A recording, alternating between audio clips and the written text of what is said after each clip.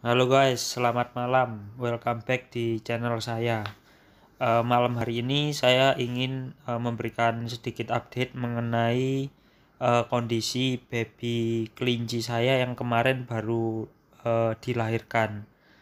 Jadi uh, hari ini kita coba untuk uh, memberikan sedikit paksaan uh, si baby ini supaya bisa tetap uh, menyusu kepada induknya jadi bagi kalian yang eh, pengen terus melihat update mengenai perkembangan kelinci saya ini, silahkan terus simak eh, channel saya, jangan di skip eh, supaya kalian bisa mengetahui perkembangannya.